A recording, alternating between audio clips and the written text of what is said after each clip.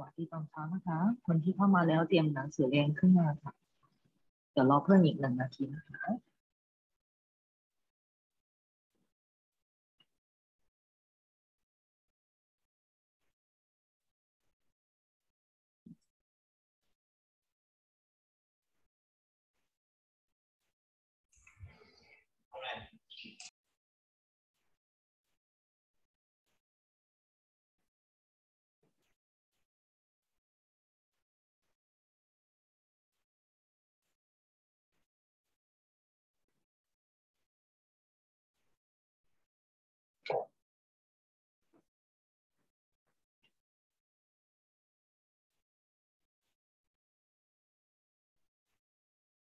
เราจะขอเช็คชื่อนะคะ คนที่มาแล้วให้พูดคำว่าเต้าค่ะข้าวโอ๊ตออมเสงชื่ออีก到กายช่วยสตังค์ไข่ทีมยิ้ม到 พุทธชายเต้าไอคอนเต้าอากิระแพนด้าเต้าอันดาเต้าชมพู่พุทธเองเต้าพุทธิเก้าเก๋เจเจ โอบามา到ตินา มาค่ะได้เต้าโอเคค่ะนักเรียนเตรียมหนังสือเรียนขึ้นมานะคะ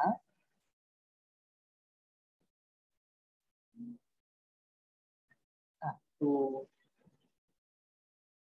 เรียนต่อจากคาบที่แล้วนะคะ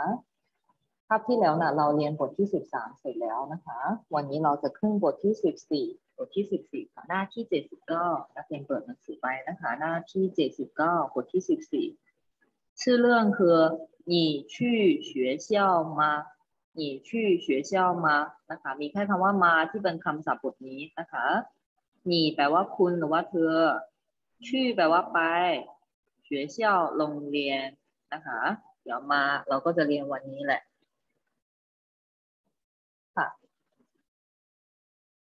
ก่อนหน้านี้เราเรียนการออกเสียงของบทที่ 14 ไปแล้วนะคะ แล้วก็สอบอ่านไปแล้ว เพราะฉะนั้นนะวันนี้เราจะขึ้นคำศัพท์เลยนะคะ หน้าที่ 79 ค่ะ นักเรียนมาดูที่เชิงสือคำศัพท์ใหม่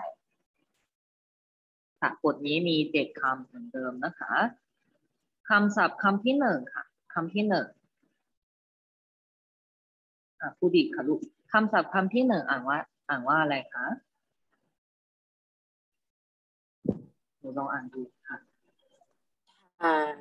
โอเคถูกต้องนะคะ ออกเสียงว่าพาออกเสียงว่าพาขอบคุณค่ะ อ่านว่าพานะคะ แปลว่าหล่อน หรือว่าเขาผู้หญิงนะคะ นักเรียนน่าจะจำได้ว่าเราเคยเรียนคำว่าทาที่แปลว่าเขาผู้ชายทาที่แปลว่าเขาผู้ชายทีนี้น่ะ ออกเสียงทาเหมือนกันเลย แต่ว่าตัวอักษรต่างกันนะคะ ถ้าเป็นทาเขาผู้ชายน่ะทาตัวนั้น ตัวอักษรด้านซ้ายด้านซ้ายจะเป็นเส้นลากสายเส้นตั้ง ส่วนด้านขวาน่ะเหมือนกันกับตัวนี้นะคะอะเรามาดูที่ทาที่เป็นผู้หญิง เขาผู้หญิงแล้วว่าหลอด ด้านซ้ายด้านซ้ายนี้น่ะ ตัวนี้อ่านว่าหยู่หยู่แปลว่าผู้หญิงนะคะ ตัวอักษรที่ขึ้นต้นด้วยคำนี้อะฝั่งด้านซ้ายนะคะ แสดงว่าคำนี้ความหมายเกี่ยวกับผู้หญิง ส่วนด้านขวาก็เหมือนกันกับทาผู้ชายนะคะ ด้านซ้ายมีอยู่สามขีด ด้านขวามีอยู่สามขีด เป็นหกขีดนะคะคำว่าทาที่แปลว่าหลอนเขาผู้หญิงอะเพราะฉะนั้นตรงนี้มีทาสองตัวนะคะ ทาหลอนกับทาเขาผู้ชาย ต่อไปคำศัพท์คำที่สองอันดาค่ะลูกคำศัพท์คำที่สองต้องอ่านยังไงคะข้ามันโอเค ถูกต้องค่ะทาเหมือน ทาก็คือทาที่เป็นทาผู้หญิง มันแปลว่าพวกทาเหมือนก็คือพวกหลอนพวกเขาผู้หญิงนะคะ ซึ่งเราได้เรียนทาเหมือนพวกเขา พวกเขานะคะ แต่ว่าคำนั้นน่ะไม่ได้องเล็บว่าพวกเขาผู้ชายนะคะ แต่ว่าคำนี้น่ะองเล็บว่าพวกเขาผู้หญิงนะคะ มันใช้ยังไง ถ้าเมื่อไหร่ที่เป็น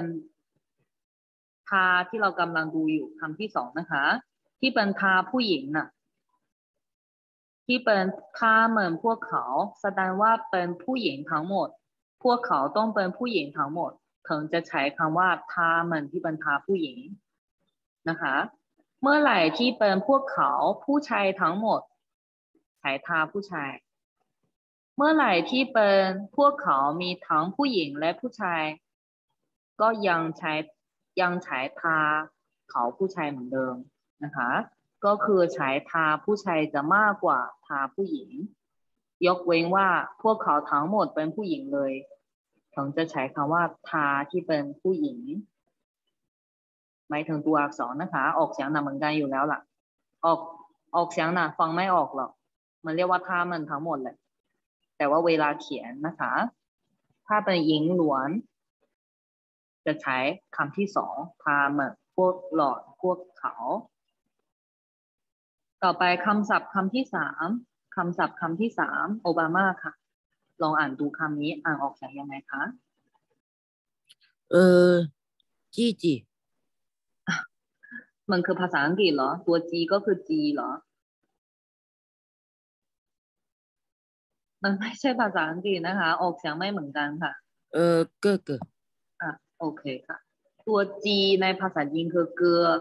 นะคะ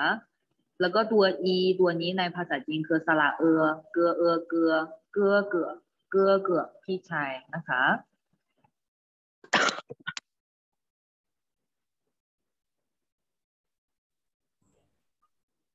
เกลือเกลือพี่ชาย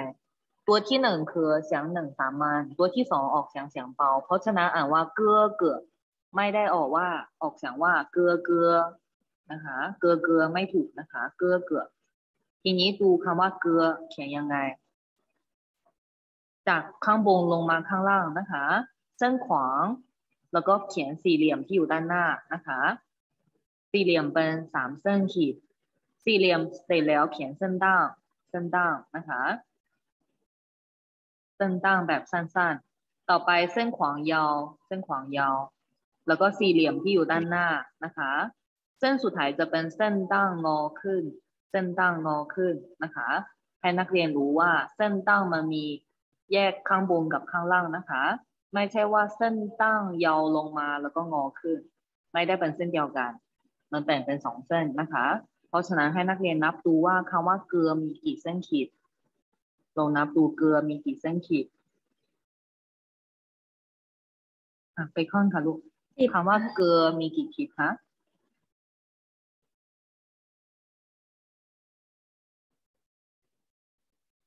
สิบครับสิบเส้นขีดนะคะ ด้านบนห้าด้านล่างห้าอะ เวลาเขียนเราก็ต้องเขียนเกลือสองตัวนะคะ เกลือเกือถึงจะแปลว่าพี่ชายคำที่สี่ค่ะคำที่สี่ อะชินาค่ะลูกลองออกเสียงคำที่สี่อ่านยังไงคะเจียเจียเจียเจียโอเค ถูกต้องนะคะ ออกเสียงว่าเจียเจีย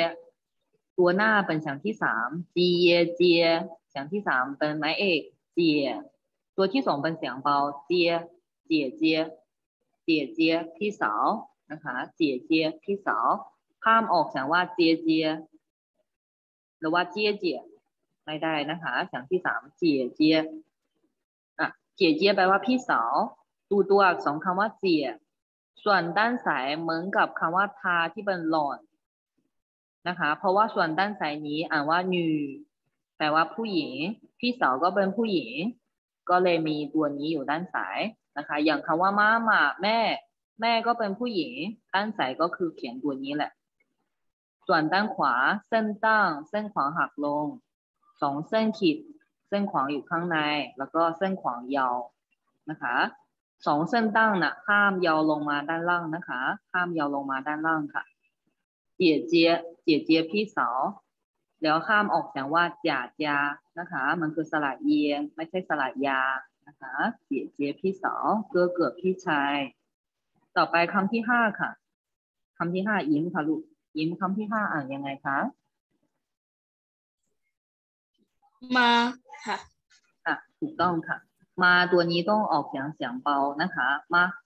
มา มาแปลว่าไหม มันคือคำถามนะคะ ไปไหมใช่ไหม เรียนไหมอะไหม มันจะลงท้ายประโยคเป็นคำถาม ออกเสียงมาถ้ามออกเสียงว่า มาหมาหมามาไม่มีวรรณยุกต์นะคะ ตัวอักษรด้านซ้าย ก็คือสี่เหลี่ยมน้ำเป็นสามเส้นนะคะ ส่วนด้านขวาเป็นหมา ตัวอักษรคำว่าหมา เราเคยเรียนแล้วหมาที่แปลว่าม้านะคะ ออกเสียงก็เลยขายกันอ่านว่ามา มีทั้งหมดหกเส้นนะคะ มาที่แปลว่าไม้คำที่หกค่ะ ตัวอักษรคำที่หกนะคะพูดหญิงค่ะลูก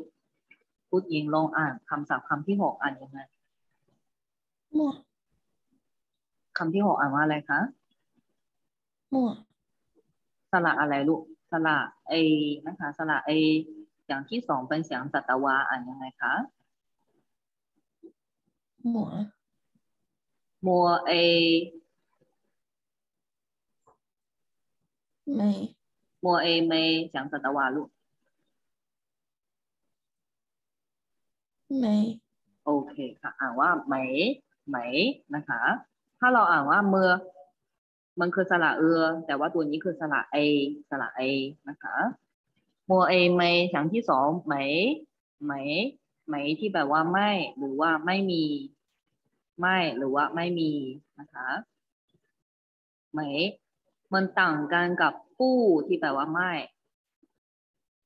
นะคะ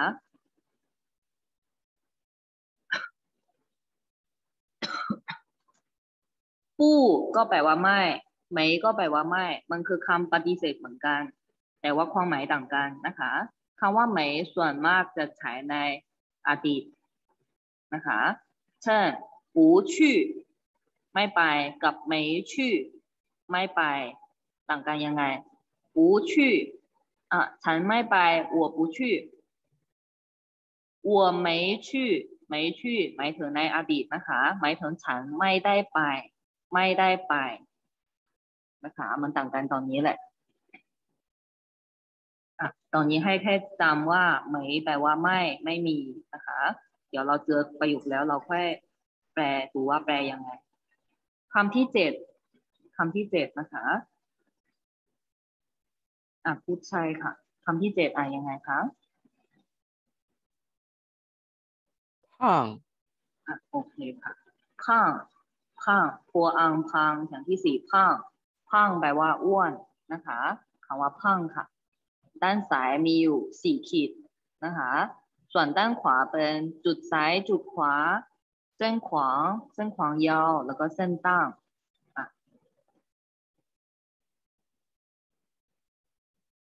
ด้านขวาห้าขีดสี่บวกห้าเป็นเก้าขีดนะคะคำว่าพังที่แปลว่าอ้วน อันนี้ก็คือคำศัพท์เจ็ดคำ เดี๋ยวเราจะอ่านให้ฟังอีกรอบ แล้วจะให้นักเรียนอ่านนะคะ ใครที่อ่านไม่ออกหนูก็จดคำอ่านได้นะคะ คำที่หนึ่งอ่านว่าทาทาหล่อนหรือว่าเขาผู้หญิงทาคำที่สองพาเหมือนพาเหมือนเหมือนพามออกเสียงว่าพามันนะคะ ไม่เอาเสียงหนึ่งนะคะ เสียงเบาค่ะถ้าเหมือนพวกหล่อนพวกเขาผู้หญิงเกื้อเกือเกื้อเกือ เกื้อเอกเกอเกอพี่ชายเจเจเจเจพี่สาวเจี๋ยเจเจเจพี่สาวคำที่ห้าค่ะ มามาไหมมาคำที่หกไหม ไหมโมเอไหมไหม ไหมแปลว่าไม่ หรือไม่มี ไหมคำที่เจ็ด พังพังโพอังพังพังพังแปลว่าอ้วนนะคะเจ็ดคำค่ะ เดี๋ยวให้นักเรียนอ่านแล้วก็แปลนะคะค่ะเริ่มจากไซเคิลค่ะลูก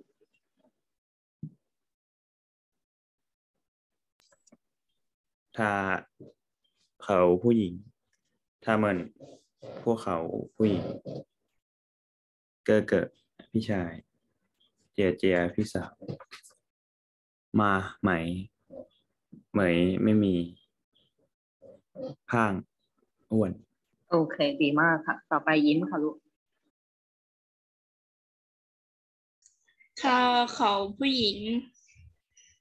ถ้าเหมือน พวกพวกเขาผู้หญิง เก็เกิดพี่ชายเจียเจียเจียพี่สาวเจียเจียเจียเจียพี่สาว มาไหม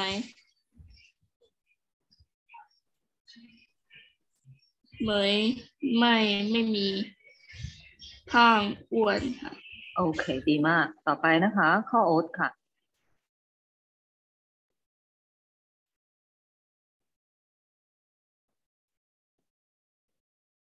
ข้ออยู่ไหมคะ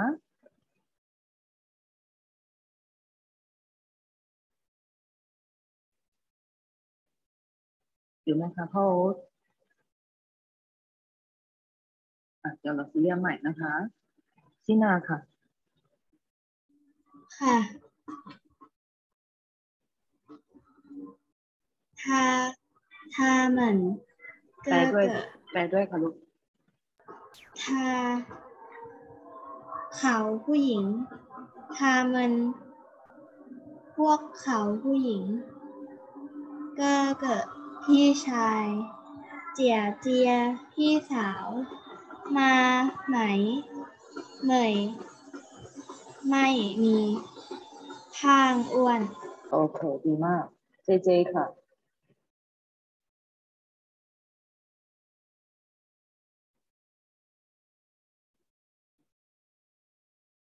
เจเจค่ะลูก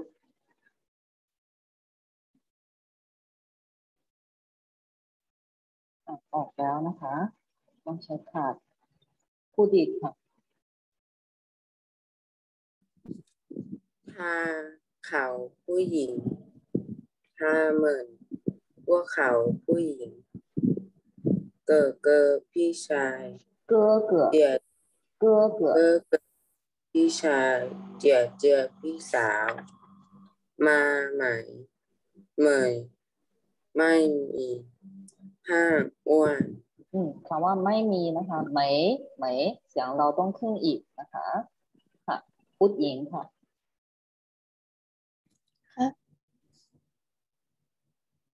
อ่าถ้าหล่อนเขาถ้ามันพวกหล่อนพวกเขา เก้อเก๋อพี่ชาย จีจี้เจียเจียเจียพี่สาว มาไหมไหมไม่มีผักอ้วนอะคำสุดท้ายข้างข้างเสียงลงอีกนะคะลูกข้างอ้วน ต่อไปชมพู่ค่ะ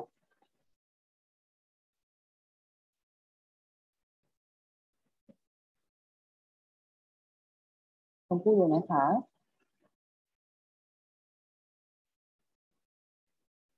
อะไม่อยู่นะคะ อันดาค่ะ ถ้าเหมือนเอาทาเขาก่อนลูกเอ้ยเออค่ะถ้าเขาผู้หญิงถ้าเหมือนพวกหล่อนพวกเขาผู้หญิง เกิดเกิดพี่ชายเจียเจียพี่สาวมามา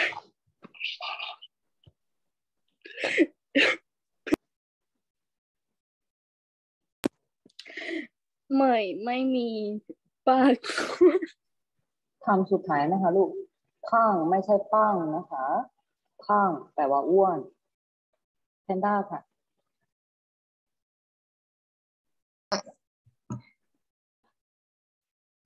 พา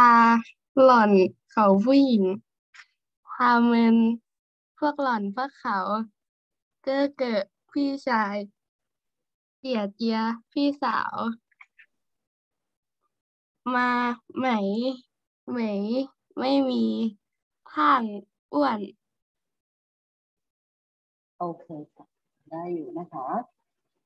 ค่ะคำศัพท์อ่านถึงแค่นี้ก่อนนะคะเดี๋ยวต่อไปจะให้นักเรียนลองฝึกจำนะคะ ลองฝึกจำเมื่อกี้อ่านเป็นภาษาจีนแล้วก็แปลภาษาไทยนะคะ เพราะฉะนั้นเริ่มจากภาษาจีนแปลไทยก่อนนะคะ ดูจาก powerpoint อ่านคำที่ชี้แล้วก็แปลนะคะอะภูพุทธ พุทธชัยค่ะลูกบอกคำว่าเข็นถิงอะอ่านคำนี้แล้วก็แปลค่ะลูก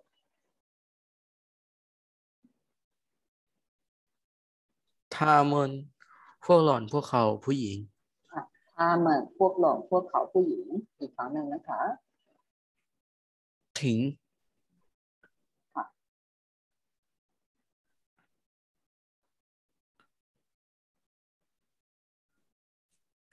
ว่า เหมยไม่มีอะไม่แปลว่าไม่ ไม่มีนะคะยิ้มค่ะถิงค่ะคำเดิมอ่านว่าอะไรคะไม่ไม่ไม่มี อะไม่แปลว่าไม่ไม่มีอีกรอบค่ะยิ้ม ถิง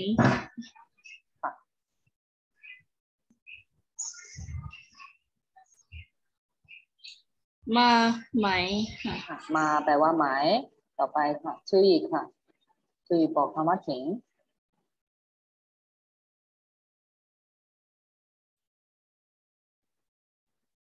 ชื่ออีกอยู่ไหมคะ ครับ บอกคำว่าถิงถิงค่ะคำนี้อ่านว่าอะไรแปลว่าอะไรอืมพ่างอ้วนอะตั้งแปลว่าอ้วนอีกครั้งหนึ่งค่ะถิงคำเดิมขอเปลี่ยนคำนะคะถิงขออีกรอบเว้นวรรคยาวๆหน่อยนะคะถิง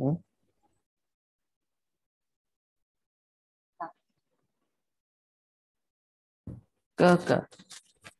พี่ชาย ถูกต้องค่ะเกื้อเกิดพี่ชาย ต่อไปค่ะ โอบามาค่ะ เออถิง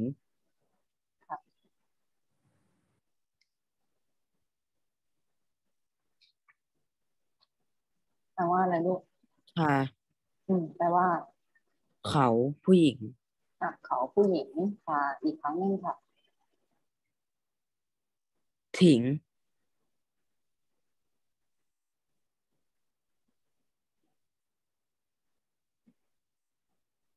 ฉาเมิน พวกเขาผู้หญิง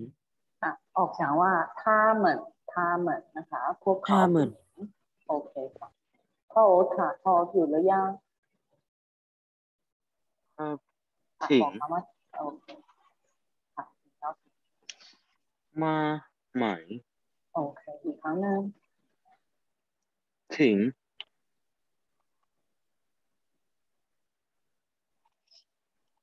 เหมยไม่อ่านว่าอะไร ลองอ่านใหม่เสียงที่สองจัตวาเสียงขึ้นเหมยนะคะเหมยแปลว่า ไม่ไม่มีเหมยแปลว่าไม่ ไม่มีได้ค่ะชิมค่ะชิมบอกคำว่าถึงถิงอะคำเดิมของเพื่อนอ่านว่าอะไรเหมยไม่มี เหมแปลว่าไม่ไม่มีอีกครั้งหนึ่ง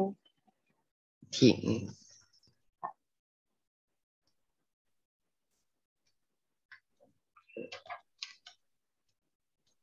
ถ้าเมินพวกหล่อนพวกเขา โอเค ถ้าเหมือนแปลว่าพวกหล่อนพวกเขา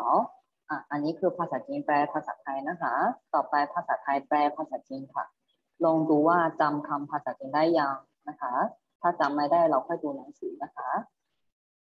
อะแพนด้าค่ะลูกแพนด้าบอกคำว่าเถียงถิงคำว่าพี่ชาย เออเก้อเกิดโอเคเกื้อเกิดพี่ชายอีกครั้งหนึ่งค่ะถิงค่ะคำว่าไหมมา เอ้ยเหมย หมแล้วว่าไม่ล่ะลูกไหมเออมาค่ะ เออ มาแปลว่าหมาย โอเคนะคะ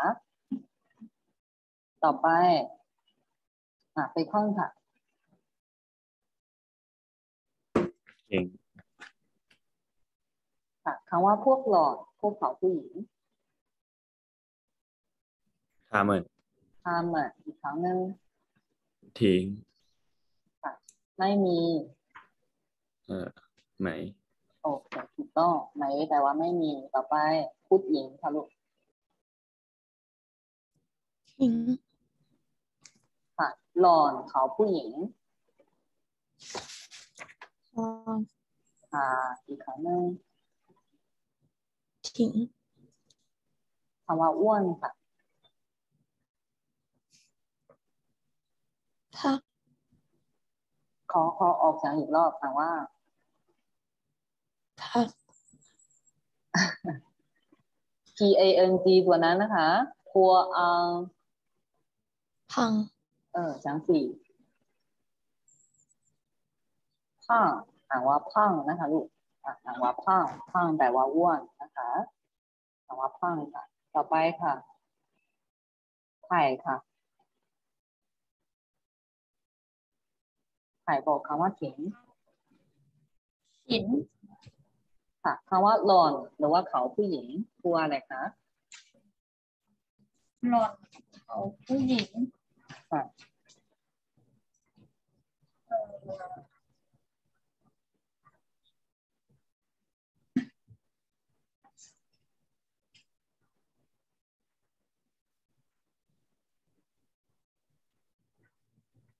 หนูไม่เปิดหนังสือเลยเหรอทำไมถึงไม่รู้อะ หน้าที่เจ็ดสิบเก้า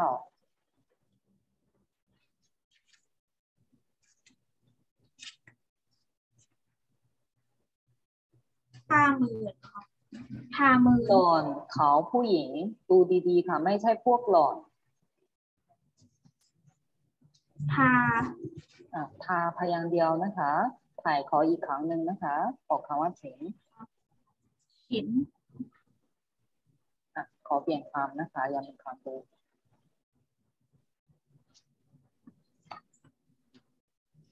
ฉินค่ะคำว่าไหม ไหม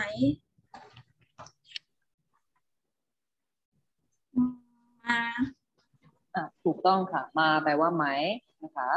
ตามให้ทันนะคะ ไม่ใช่ว่าไม่ดูหนังสือ อันดาค่ะ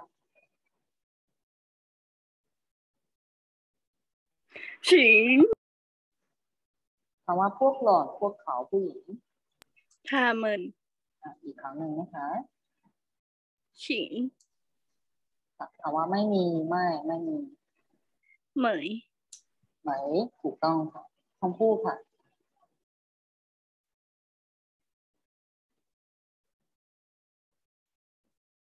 คำพูดอยู่นะคะ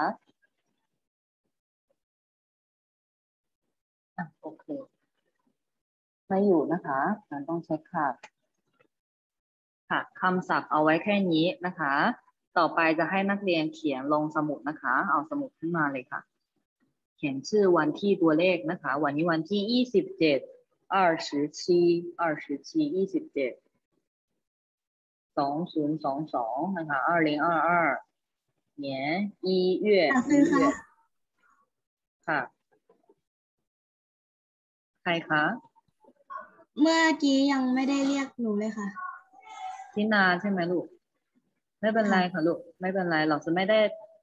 อ่าทุกกิจกรรมจะต้องเรียกครบทุกคนนะคะ แต่ว่าก็จะ ก็จะพยายามเรียกนะคะ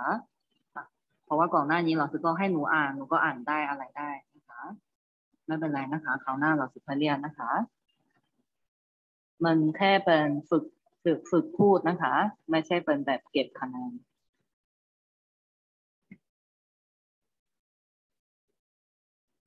นักเรียนเขียน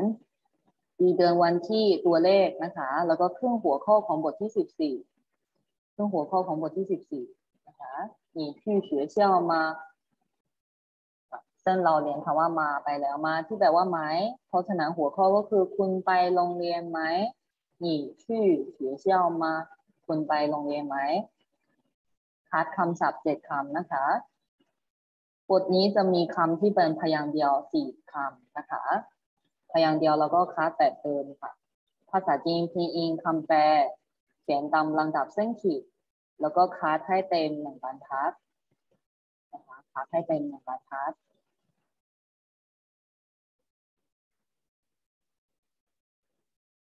ถ้าในหนังสือมีเขียนตามลำดับเส้นขีดเราก็เขียนตาม ถ้าในหนังสือไม่มีอย่างคำที่สองคำว่าถ้ามันทาก็เขียนในข้อหนึ่งแล้ว มันก็เคยเรียนมาแล้ว ก็เลยไม่มีคัดลำดับเส้นขีดเราก็ไม่เขียนสองพยางเราก็เขียนภาษาจีนพิมพ์แปลแล้วก็คัดอีกสี่ครั้งนะคะจริงก็สี่ครั้ง อย่างคำว่าเกื้อเกิดเกียเจียพี่ชายกับพี่สาวก็สองพยางค์คัดสี่ครั้งนะคะ แต่ว่าต้องคัดทั้งสองตัวนะคะเกลือหนึ่งตัวเกลือสองตัวเกลือเกลือนะคะ ไม่ใช่ว่าคัดเกลือตัวเดียวก่อนหน้านี้ตอนที่เราเรียนป้าป่าพ่อกับม่ามาแม่ มีคนคัดมาป้าตัวเดียว มาตัวเดียวไม่ได้นะคะลูกมันมาเป็นคู่มาเป็นสองตัวนะคะ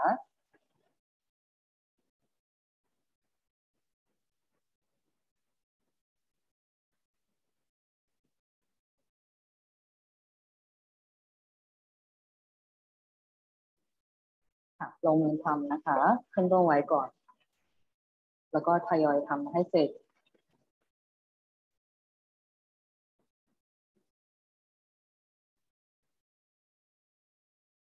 งานคาบที่แล้วนะคะ งานคาบที่แล้วให้เขียนประโยค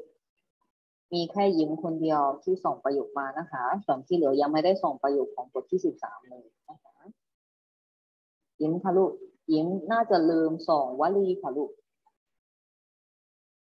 ฮะวลีของบทที่สิบสามเนี่ยหนูยังไม่ได้ส่งนะคะอ๋อโอเคค่ะลืมนะคะค่ะ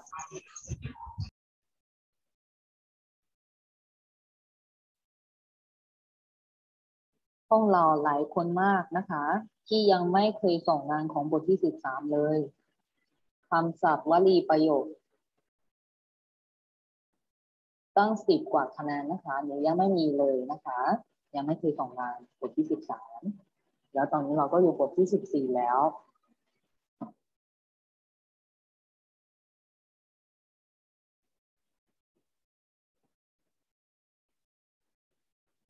พยายามส่งงานนะคะ ไม่อย่างนั้นเราตั้งใจเรียนเราก็ทำข้อสอบได้ แต่ว่าเราไม่มีคะแนนเก็บ เราก็อาจจะไม่ผ่านนะคะ ถ้าติดศูนย์ขึ้นมาแล้วมันเสียดายนะคะ นักเรียนเขียนงานก่อนนะคะ มีคำถามอะไรก็ถามมานะคะ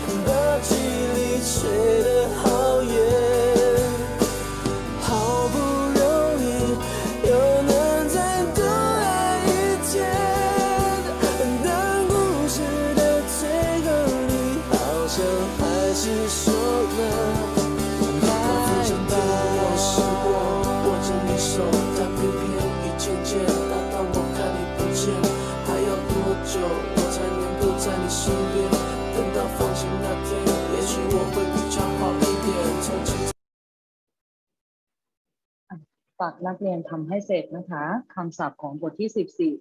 คนที่สองคนแรกรบกวนสร้างอัลบั้มเป็นคำศัพท์บทที่สิบสี่นะคะเดี๋ยวเราเจอกันคาบหน้าค่ะ ของชุมันใจเจ้ยนสวัสดีค่ะเด็กๆใจเจ้ยนค่ะ